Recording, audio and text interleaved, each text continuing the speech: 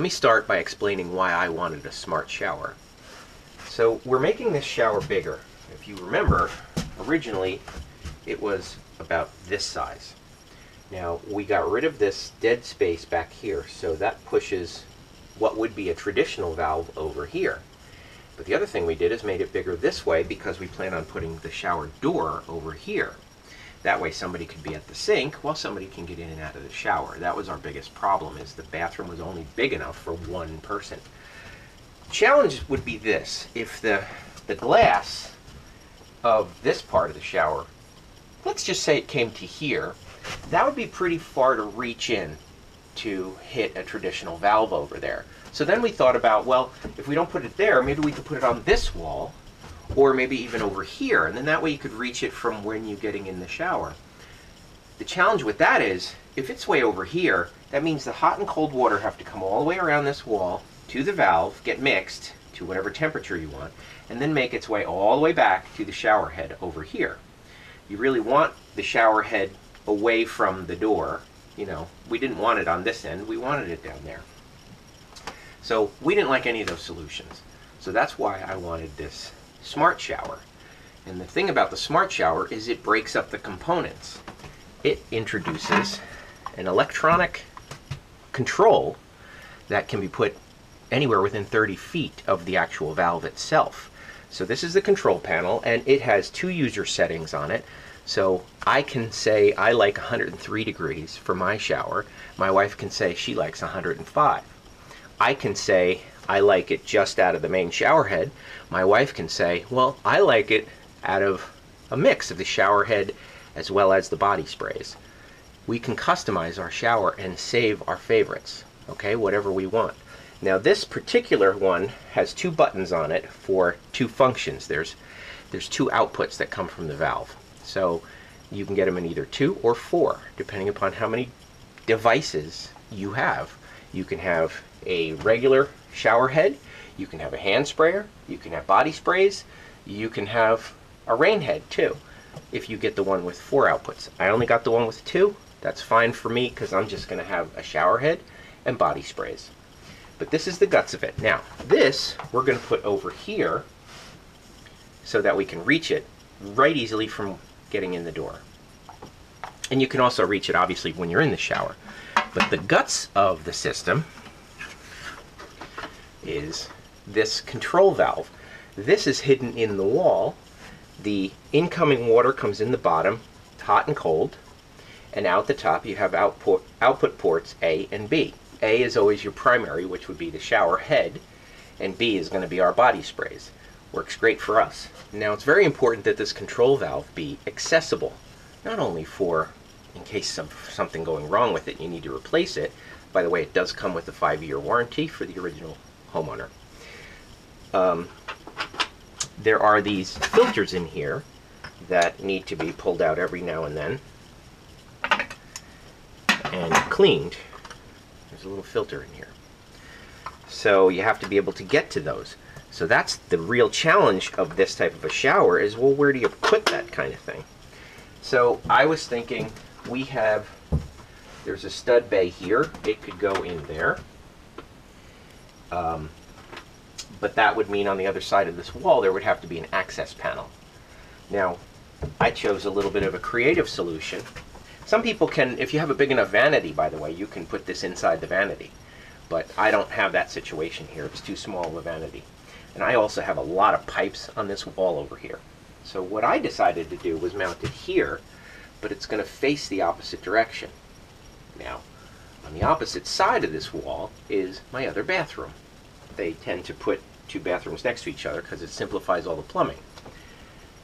On the other side of this hole that I've already cut in the wall is a big mirror in my other bathroom. So this is going to get mounted inside this hole right here and I can get to it by taking the mirror off the wall.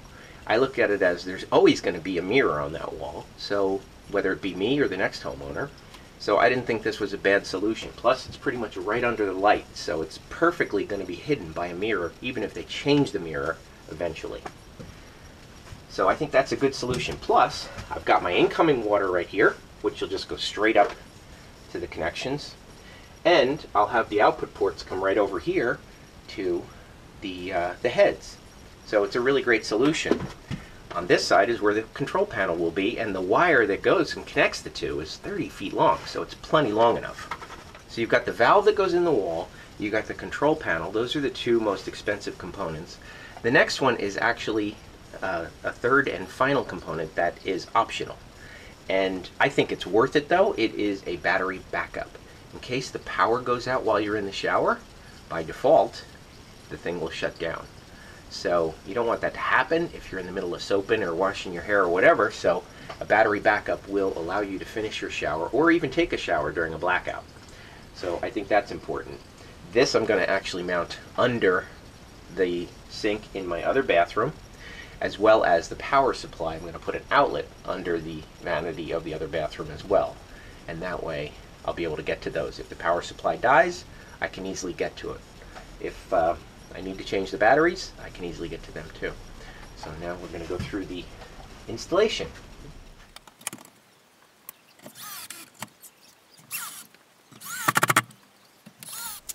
This was my first time working with PEX pipe, and I gotta say, it was really easy. I cut it with just a, a snip and um, take the burrs off the end and put the valves right on.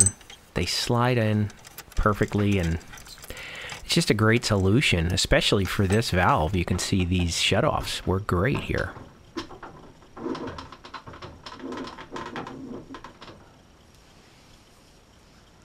And then the elbows on the other side, it's great because it's easy to adapt PEX to copper. No soldering at all.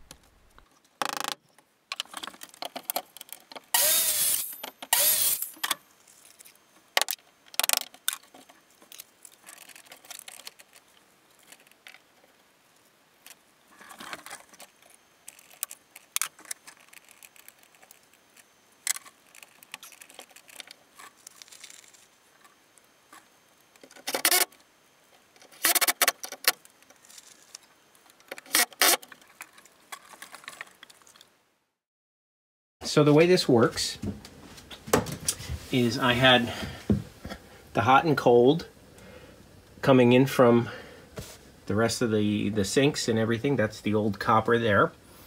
I had to cut that off and I use these SharkBite connectors. These things are just push on. You don't need to do any kind of soldering or glue or anything like that. They are really easy to use. And this is PEX pipe, which is plastic which is really easy to use as well because as you can see it just it's very flexible. No problem at all. And that goes up the supply goes up to the bottom of the control unit. And then out the top we have the two outlets A and B. And A goes up to that will be the shower head. And B goes to the three body sprays that I have here. And they are spaced everything is spaced 18 inches apart So I happened to get my plumbing inspections done this week too, the rough plumbing that is. And I passed, everything was good.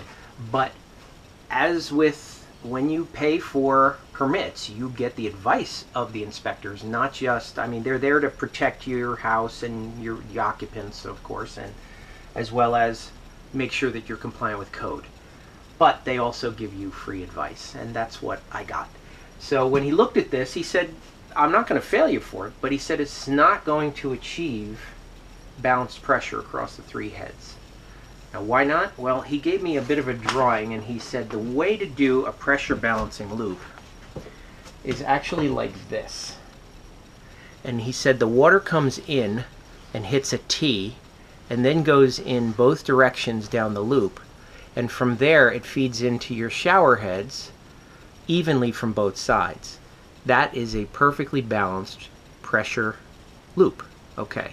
The challenge there is this would require five T's. One, two, three, four, five. But that's fine. But these fittings here, these are also what, what are known as drop T's or drop ear T's. Okay? That fitting is a screw-in fitting, kind of like this, where the shower head or these are the, uh, the body sprays would screw into, but it has pipes coming in from both sides. So the trouble is those fittings don't exist in SharkBite.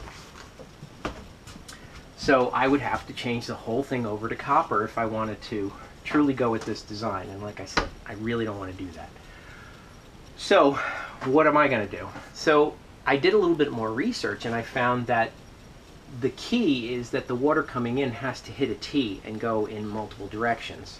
And so I came up with an alternative design that reconfigures these components that I have here.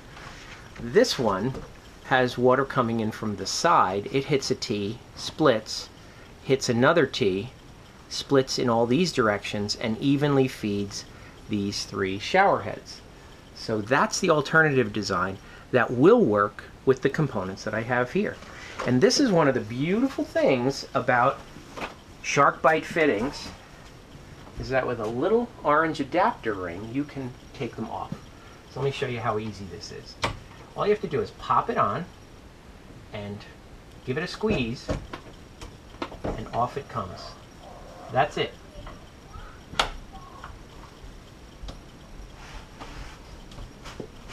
Sometimes it's a little hard.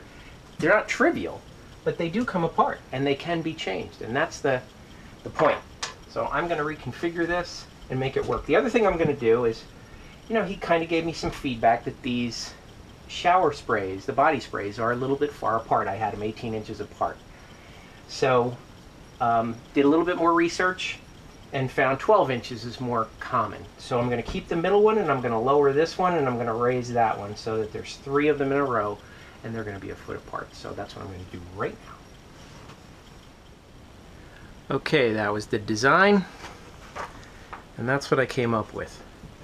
So the water comes in through the top, hits this T, goes in both directions, hits these T's, goes in all directions evenly to fill all three shower heads with the same pressure. That's at least the intent. But before I cover up the walls, I'm actually going to test it after the, the floor is in and I have a shower pan. I need to put water in the shower pan anyway, so that's a perfect time to test it. So that'll be the next thing that I do. Visit my website, handydad.tv, for more great ideas and information. Be sure to subscribe to be the first to know when new videos are posted.